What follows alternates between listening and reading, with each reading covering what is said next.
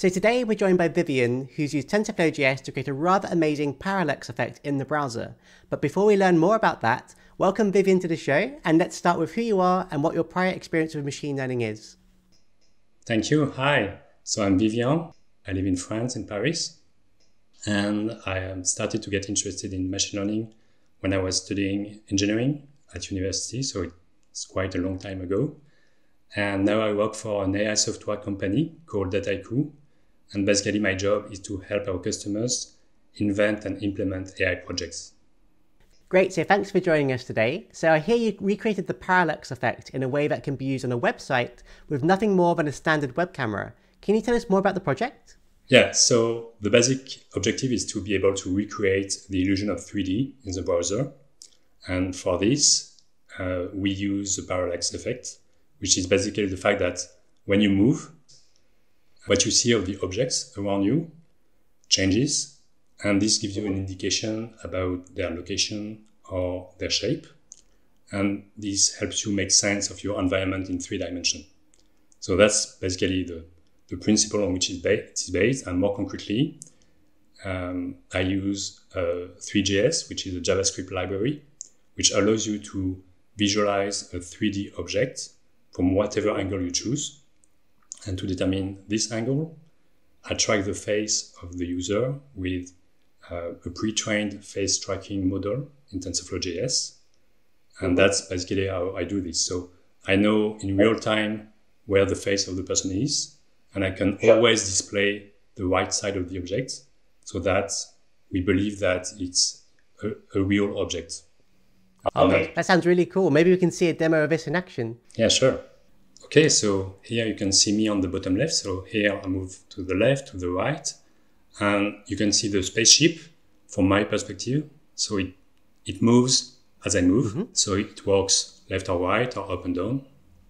Okay and this is the view of what you actually see. yeah.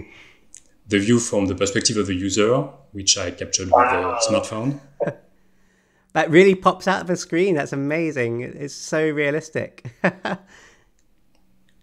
and it can work with the 3D model with an animation. It's basically the same. So I go left or right, up and down. Mm-hmm. Yeah, and again, we can see the similar effect happening here as you move your head around. That That's really, really cool. Okay, and one more? Perfect. Yeah, and you can have an even more complex 3D scene, Ooh. and it works the same. Maybe it's a little less fluid as compared to the others. Uh huh. Oh, that's really nice. Yeah, I see what you mean. Maybe a little less fluid, but it still works very nicely. You can you can get an idea of like you know kind of the space of the room and uh, really look around as if you're there, which is very very cool. Um, so, what was your inspiration to uh, create this?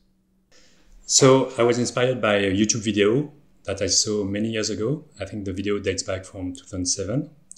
And this video was made by a researcher called Johnny Lee.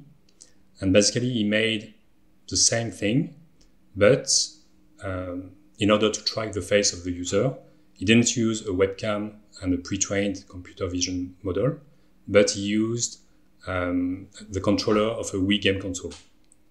But otherwise, it was the same, and I was very impressed by the by the demo because it, it worked really well. It was very visual.